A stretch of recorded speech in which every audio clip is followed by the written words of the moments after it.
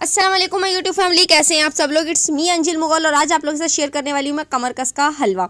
कमरकस का हलवा बहुत अच्छा होता है, और कमरकस क्या होती है? सबसे पहले बहुत सारे मेरे बहन भाइयों के पास यही सवाल होगा। जो लोग जानते हैं, अच्छी बातें नहीं जानते, अब उन बहन भाइयों को भी हमने साथ लेके चल रहे हैं। कमर कस एक गोंद होती है, जो कि दरख्त में से ही निकलती है, और ये दरख्त की लकड़ी में से जो गोंद निकलती है, उसको कमरकस कहा जाता है। इसकी प्राइस बहुत ज़्यादा नहीं होती और ये इजीली पंसार की शॉप से अवेलेबल हो जाती है।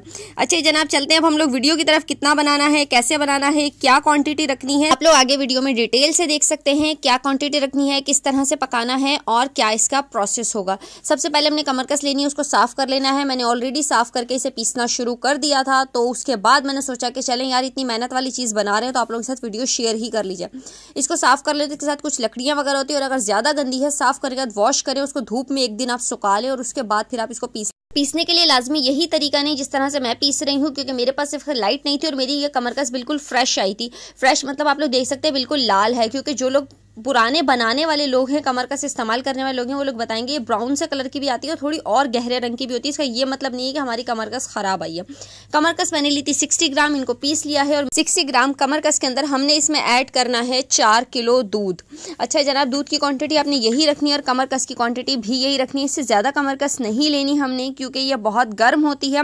जितनी ये बेनिफिट रखती है, उतनी ही गर्म चीज़ें हमारी बॉडी को नुकसान भी दे सकती हैं। सर्दियों में ये बहुत अच्छा है आफ्टर प्रेगनेंसी ये बहुत अच्छा है। लोग देख सकते हैं, मैंने साथ के साथ सारी चीज़ें इसमें मिक्स करके ऐड करना शुरू कर दी हैं। मतलब कि कमर कस अपने दूध में डाल के पकाना शुरू कर दी मैं आप लोगों को दिखा सकती हूँ कि ये जिस तरह से मैं मिक्स करके दिखा रही हूँ ना, इस तरह से आप लोगों ने बिल्कुल इसको नहीं करना ये मैं इसलिए आपको करके दिखा रही हूँ, जिस तरह के हम लोग लहसन दबा देते हैं ना दपकती हुई दाल में, ऐसा कोई काम नहीं करिएगा आप लोग।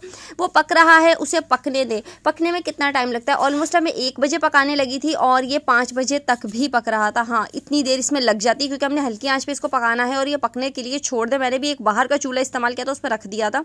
किचन के काम किचन में अलग से चल रहे थे। इसकी फुटकियाँ बने या दूध फटना शुरू हो जाए या दूध फट जाए, किसी भी चीज़ से परेशान नहीं होना, आप इसको पकने दें और ये पकता ही रहेगा। लास्ट में हमारे पास एक बहुत अच्छा हलवा तैयार हो जाएगा। जब इस कंडीशन पर आ जाए, हम इसमें ऐड कर देंगे घी। घी तकरीबन इसमें दो से तीन चम्मच घर का देसी घी इस्तेमाल करें। अगर बाज़ार से ले रहे हैं तो भी कोशिश करें आपको असली सामान ही मिले। अच्छा जनाब, अब हमने पकाते पकाते हमारा काफ़ी हद तक खुश्क होना शुरू हो गया। मैं आप लोगों को दिखा सकती हूँ। ये देख लें, बिल्कुल ऐसा लग रहा है जैसे ये खोया और मावा टाइप की चीज़ बन गई है। अब हमने इसमें ऐड करनी है मिठास। मिठास के लिए आप लोग इसमें खजूर ऐड करें। आठ से दस खजूरें ऐड कर सकते हैं। चीनी ऐड करें तो पाँच से सात चम्मच चीनी ऐड कर सकते हैं। और अगर आप लोग गुड़ ऐड करना चाहें, जैसे मैंने ऐड किया, मैं इसमें आधी पीसी गुड़ की इस्तेमाल करूँगी। गुड़ इतना भी इनफ होता है और जो लोग ज़्यादा मीठा पसंद करते हैं, वो लोग चीनी और गुड़ की क्वांटिटी इससे डबल भी कर सकते हैं, इसमें कोई ऐसी बात नहीं। और जो लोग शुगर पेशेंट हैं या लोग अपनी हेल्थ की तरफ़ से ज़्यादा कॉन्शियस हैं, वो लोग इसमें इसको बिल्कुल ना भी डालें। अगर मैं सिर्फ़ पर्सनल अपने लिए बनाती हूँ ना, मैं इसमें कुछ नहीं ऐड करती, अभी बच्चों ने भी साथ लेना है क्योंकि विंटर सीज़न है तो इसलिए इसमें मैंने थोड़ी मिठास ऐड की क्योंकि बच्चे बिल्कुल फीकी चीज़ें पसंद नहीं करते खाना। ये देख सकते हैं काफ़ी अच्छी तरह से भुनाई इसकी हो रही है और अब हमने इस पर नज़र ही रखनी है, हमने इसे नज़र नहीं हटानी।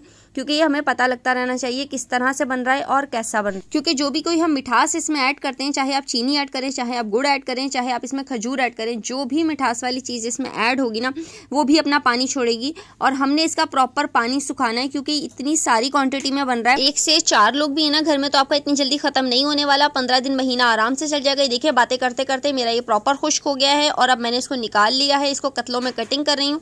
अगर आप लोगों का ऐसा नहीं जमता टेंशन की कोई बात नहीं, आप लोग इसे स्पून से भी खा सकते हैं, खाना कितना है। एक चम्मच सुबह, एक चम्मच शाम, बड़े लोगों के लिए और अगर बच्चों को दे रहे हैं, आप हाफ़ टी स्पून दे सकते हैं। सर्दी के लिए बहुत अच्छा है, ठंड आपको नहीं लगेगी। कमर के दर्द के लिए, हड्डियों के लिए, बड़े बुज़ुर्गों के लिए आफ्टर डिलीवरी हर चीज़ के लिए बहुत बेहतरीन किस्म की चीज़ है ये।